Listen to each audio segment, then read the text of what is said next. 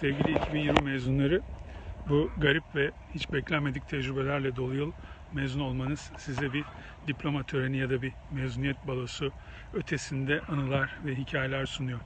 Törenler, partiler nasılsa yapılacak ama bu yaşadığınız zamanları bütün hayatınız boyunca unutmayacaksınız, hatırlayacaksınız. Size kazandırdığı dayanıklılık ve direncin faydasını göreceksiniz. Her ne şartta olursa olsun hayatınızın çok önemli adımlarından birini attınız ve üniversiteden mezun oldunuz. Bunun için sizleri çok çok tebrik ediyorum. Kahve Bahane sohbetlerine de çok teşekkür ederek başlamak istiyorum. Rol model olarak beni de seçtikleri için çok gururlandım. Bazıları ünlü, bazıları ünsüz rol modeller arasında ben ünsüzler grubundayım ama yine de e, tabii ki Barack Obama ile aynı e, videolar serisinin içerisinde olmak, Gülsün Onay'la aynı videolar serisinin içinde olmak bana gurur veriyor. Benim adım Atilla Uras. Ben Defne ve Deniz'in babasıyım. Ayşe'nin eşiyim. Kedilerimiz Limon'la Asra'nın da sabahları erkenden yemek veren ve bahçe kapısını açan servis elemanıyım. Bunun dışında da Birleşmiş Milletler Çevre Programı'nın Sudan ülke e, müdürü olarak çalışıyorum. Bu pozisyona gelene kadar izlediğim kariyer yolundaki hikayeleri size anlatıp biraz ilham vermeye çalışacağım. Aradaki kilometre taşları umarım sizin izleyeceğiniz yolda aklınıza gelir, referans olur. E, diploma olarak bakacak olursak ben aslında 3. nesil inşaat mühendisiyim ailedeki. ODTÜ'de okuma şansı buldum. E, ve öğrencilik, master araştırma görevliliği derken 9 seneyi o güzel kampüsün içerisinde geçirdim. Şanslı görüyorum kendimi e, bu açıdan. Ama aslında okurken 3. sınıfta kıyı ve liman mühendisliğiyle tanışınca e, klasik yolun böyle hafif dışına çıkarak denizle kıyıyla ilgili e, işler yapabileceğimi e, gördüm. Zamanı gelip de o ODTÜ fanusunun dışına çıktığımda da beni heyecanlandıran deniz ve kıyı ile ilgili konulardan uzaklaşmamaya çalıştım. Yat limanı tasarımları, kıyı yapıları e, yapan iki tane küçük e, inşaat e, mühendisliği, mühendislik şirketinde e, çalıştım ama içimde her zaman çevreyle ilgili bir şeyler yapma e, arzusu vardı. Şansım yaver gitti. Kelaynak logosundan belki hatırlarsınız Doğal Hayat Koruma Derneği'nde kıyı alanları yönetimiyle ilgili bir iş imkanı haberi geldi. Güzel bir mülakat yaptım ve bunun ardından da işe kabul edildim. Benden cevap bekliyorlardı ve ben elimdeki o kocaman yüksek mühendis diplomasına bakarak duruyordum. İşte hayatımı değiştiren o kararı verirken e, iki önemli ders edindim sizle paylaşmak istediğim. Birincisi hayatınızın önemli karar ve adımlarında sevdiklerinizin size desteği. Ayşe bu kararımı sorgusuz destekledi. E, babama söylediğimde o para verecekler mi orada diye sormuştu. Ayşe koşulsuzca destekledi. Diğeri de tecrübeli arkadaşlarınızın size vereceği tavsiyeler. Sevgili arkadaşım Güneşin Aydemir bu karar sırasında bana bir tavsiyede bulundu ve bunu ben hayatımın pek çok e, karar aşamasında bir motto olarak da kullandım.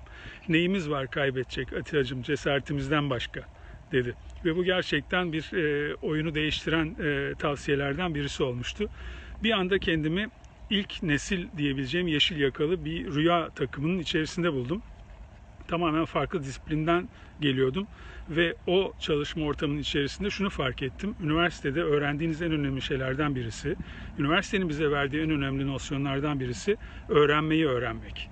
Ben onun için öğrenmeyi hiç bırakmamaya çalıştım. Çünkü bu insanın beynini oldukça dinç tutuyor.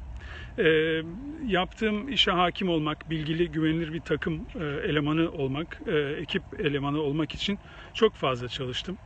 Ee, yeni sektörde bu kendi yerimi sağlamlaştırmak için de önemliydi.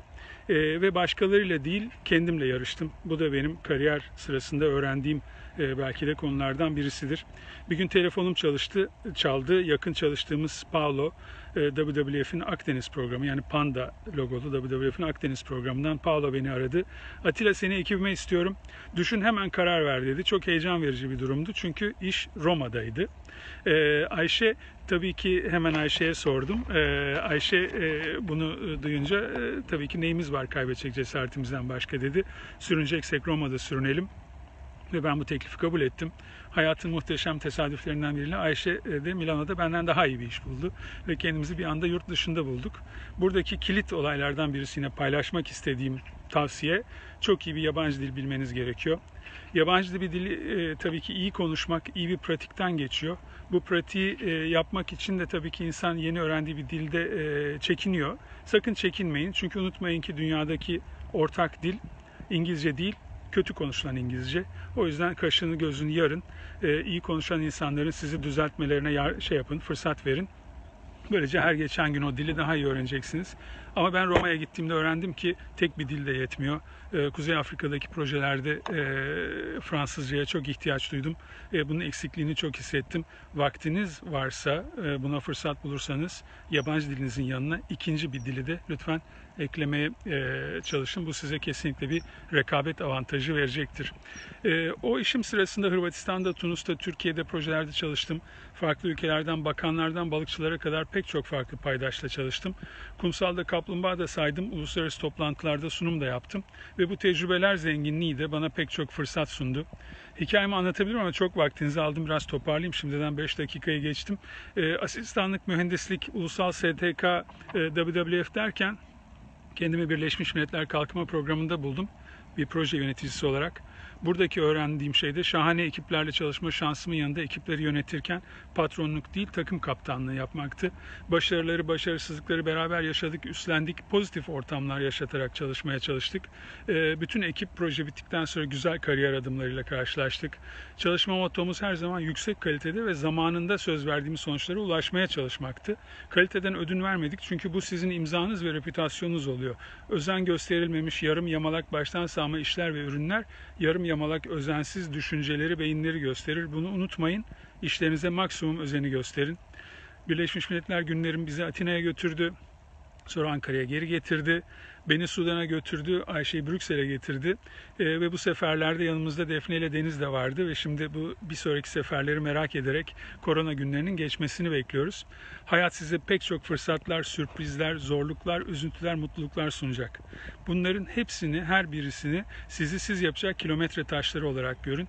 Hepsinin hakkını verin ve risk almaktan kesinlikle korkmayın e, iş yapmak istediğiniz iş, sevdiğiniz iş olsun. Bu e, hedeften asla uzaklaşmayın. Ama unutmayın aile ve sevdikleriniz her zaman işten önce geliyor. Ufkunuz açık olsun, rüzgarınız kolayınıza, provanız neta olsun sevgilerimle.